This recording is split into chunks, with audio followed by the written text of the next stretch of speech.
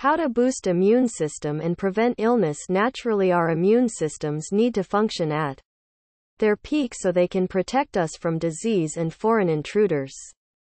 Our diets, of course, have a great impact on our immune system health.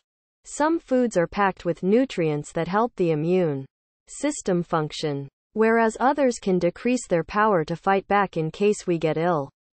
Stay tuned, because, in this video, we are going to mention the top 8 ways to boost your system naturally. Number 1 Eat antioxidant foods Antioxidants are nutrients that help control and repair the damage of free radicals in our bodies. These could be vitamins like A, C and E, as well as minerals like zinc. Selenium and potassium are some good antioxidant food sources to take from our berries, broccoli, cola, flour, and nuts. Seeds, citrus fruit, pineapples, spinach, tomatoes, peppers, seafood, and corn. Number 2 Take more zinc. Zinc is a mineral that acts as an enzyme. Factor in white blood cells when zinc is deficient in your system, your immune system will tend to become weaker. Some good food sources of zinc are meat, fish, and dairy products. You can also take a zinc supplement, but do so under your supervision of yours.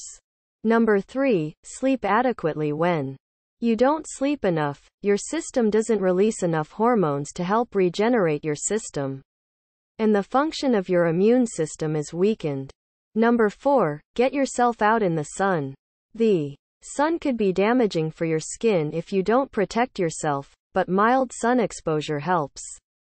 Release vitamin D in your body, which is quite beneficial for your immune system and puts you in a great mood as well. Just 15 minutes are enough to get a healthy dose of sun and repeat the benefits. Number 5. Eat more garlic. Yes, eating garlic will make your bread smell, but you'll be surprised to learn that it has multiple benefits for your health. This flavorful and robust can both boost your immune system and clear circulatory issues for better heart health. According to a study conducted at the University of Maryland Medical Center, number 6 quit smoking.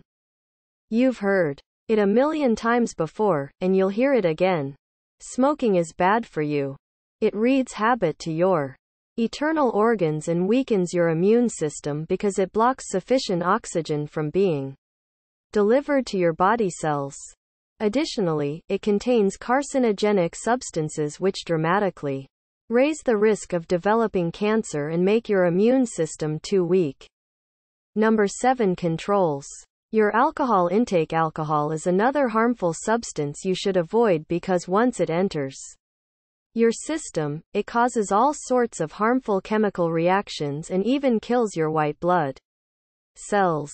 The cells responsible for fighting illness and infections not only that, it interferes with the absorption of vitamins and minerals necessary for a healthy white cell count. Number 8 Laugh with your heart. They say laughter is the best medicine, and there is a point to that.